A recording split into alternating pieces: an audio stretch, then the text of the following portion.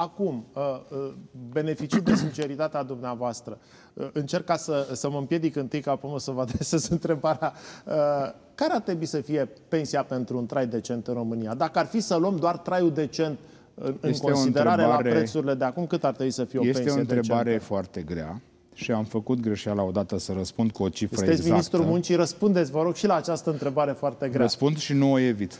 Și niciodată n-am evitat o întrebare, însă n-am să vă răspund cu o cifră, pentru că orice cifră voi spune eu acum, cineva o să vină și o să spună că este prea mică sau este prea mare. Bun, atunci dați-mi două cifre. Toții... Dați-mi prima cifră nu. din sumă și ultima. Nu. Uitați-vă, de exemplu, în concepția mea, dacă România, dacă România și-ar permite astăzi, eu cred că pensia minimă în România ar trebui să fie aici unde noi ne adresăm cu măsurile.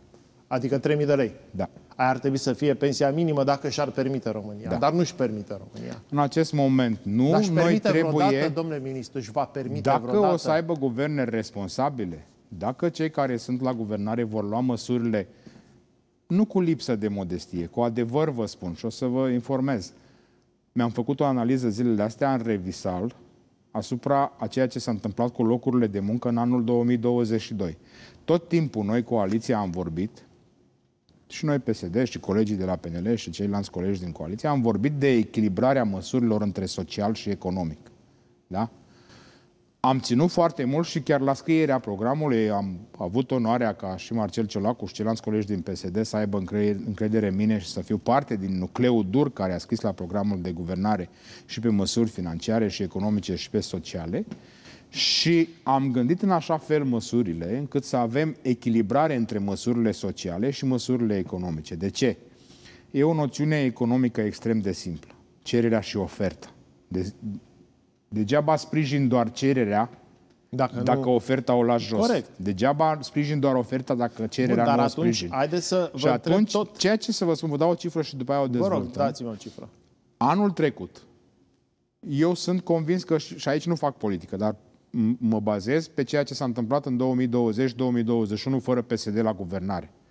Faptul că PSD a venit la guvernare și a asumat guvernarea într-o perioadă așa de grea, anul trecut, prin măsurile pe care le-am implementat în coaliție, s-au creat 100.000 de locuri de muncă în România.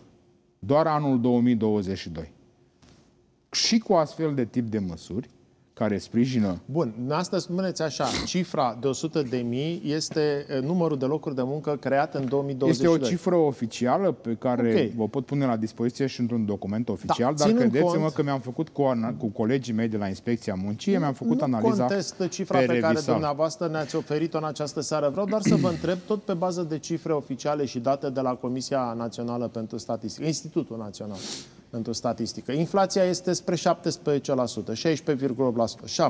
17% de fapt. Unii spun că ar fi chiar mai mare pe indicii prețurilor de consum.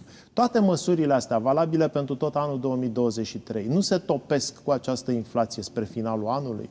Nu se topesc. În cât aș timp se topesc să... aceste măsuri aș pe care ni le-ați prezentat aici? Aș putea să mă împedic și eu și să o fac pe jurnalistul și să vă întreb. Dar dacă nu erau aceste măsuri? Bun, e limpede că e mai bine cu ele decât fără ele. Dar în cât timp se topesc, totuși e o întrebare justificată. De este ce? Pentru că dacă încep să se topească, aici, întrebarea nu. e dacă urmează altele eu care vorbesc, să compenseze topirea acestora. Eu vorbesc de necesitate. Eu vorbesc de necesitate. Atunci când te pretinzi a fi un guvern responsabil, când te pretinzi a fi un demnitar care îți faci fișa postului și te gândești la cetățeni, trebuie să cauți și să descoperi, să știi necesitatea. Pentru a lua o măsură bună, sau cât de cât bună, sau cât de cât să vină în sprijin, trebuie să știi necesitatea. Trebuie să cunoști realitatea. Trebuie da. să-i cunoști pe... Aceste cifre de aici nu sunt cifre, sunt suflete. Cu atât aici mai mult. vorbim de 4 milioane de suflete. Cu atât mai mult, domnule și ministru. trebuie să le cunoști În situația în care ați luat aceste măsuri pentru că li se topeau vă niște răspund, venituri vă răspund, mici. nu evit. Nu evit nicio întrebare, uh, Încep să se topească și asta pentru că există inflație. În cât timp trebuie să veniți cu altele peste vă aceste răspund, măsuri? dar dați-mi voie și mie să mă împiedic un pic. Deci, vorbim de necesitate și nu vorbim de cifre, vorbim de suflete. Trebuie să le cunoști necazurile ca să le poți să încerci să le rezolvi problemele. Vă răspund bazându-mă pe experiența coaliției din 2022. Când am intrat la guvernare în 2021, știți că PSD a avut un, o linie roșie, un pachet social.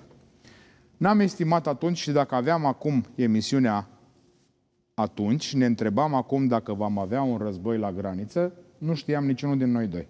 Puteam bănui, puteam... Da, cred că unii știau. Unii, nu noi.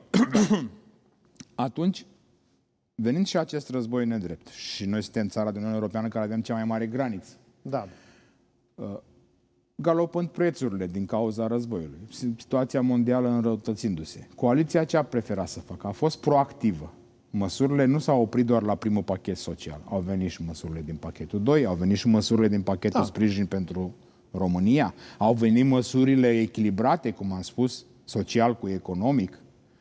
La fel vom face și suntem determinați să facem și în acest an. Dacă situația o va impune această coaliție, eu am, de, eu am certitudinea, participând și la ședințe de coaliție și la, văzând cum se pun problemele și cum se discută problemele, am certitudinea că vom încerca și vom reuși să facem tot posibilul să reglăm aceste lucruri. Adică în situația în care inflația mănâncă în continuare din venituri, veți face efortul de a mai suplimenta ceea ce ne-ați arătat până acum. Pentru că dumneavoastră vă Asta întoarceți, vorba lui Florin Persic, să dea Dumnezeu sănătate la caștravete, o să mă întorc și eu la caștravete și o să vă întreb ce ar fi fost dacă nu implementam acest tip de măsuri. M-ați mai întrebat, ar fi fost Păi și jale. dumneavoastră v-ați întors înapoi, mă întorc și eu. Da, uh,